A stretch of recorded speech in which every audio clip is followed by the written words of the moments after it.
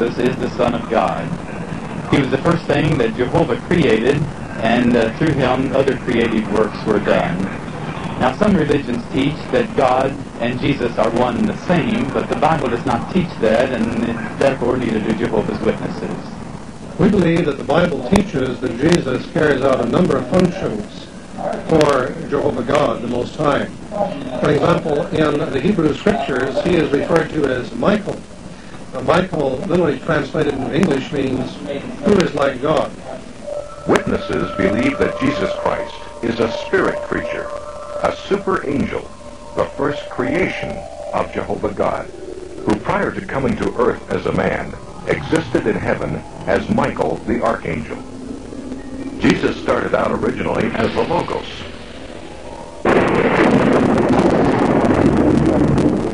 Or Michael the archangel.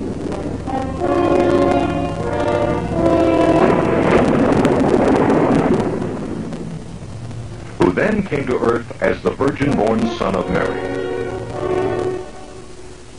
He was a perfect, sinless man.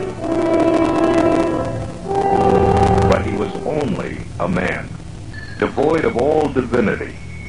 Jesus walked the earth as a man, becoming the Christ only when he was baptized. Jehovah's Witnesses hold the cross in contempt, feeling that it is nothing more than a pagan symbol used by apostate Christendom. Instead, they teach that at the completion of his ministry, Jesus died, not on the cross, but on an upright stake. Christ's body was then laid in a tomb, where it was disintegrated by God, totally destroyed forever. Jesus was then recreated by the Father. Before going to heaven, he materialized in different bodies on different occasions to convince his disciples and others that he had really been resurrected. Jesus returned to his Father in heaven, where once again he became Michael the Archangel.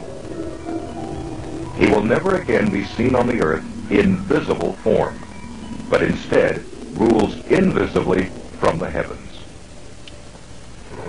When he executes judgment over the world at Armageddon, he will destroy all but the faithful Jehovah's Witnesses.